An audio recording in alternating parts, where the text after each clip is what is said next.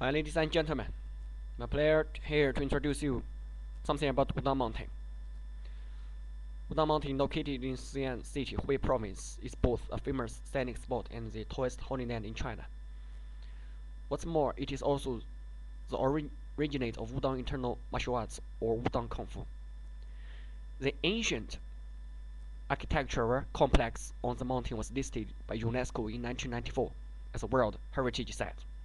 It is famous for many Taoist monasteries where many Taoist ravines are shrined, which attract many Chinese religious believers here to pilgrim.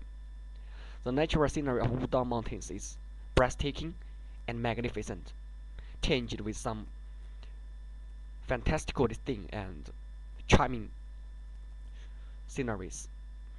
Major scenic spots include 72 peaks, 36 rock cliffs, and 24 streams. Golden Peak, the highest point, creates a striking view of one pole supporting the sky.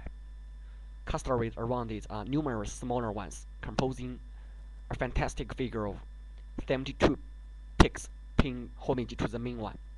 Wudang Mountain is renowned as Immortals Mountain of Taoism and the world for swordsmen. It is a famous Taoist center in China with both history of one practice and profound Taoist culture.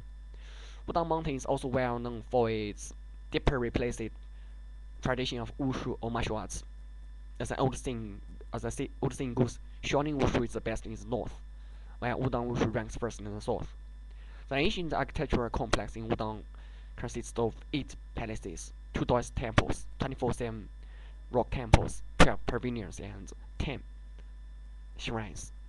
Large in scale and excellent in technical detail, it is a powerful demonstration of the harmony between architecture and nature.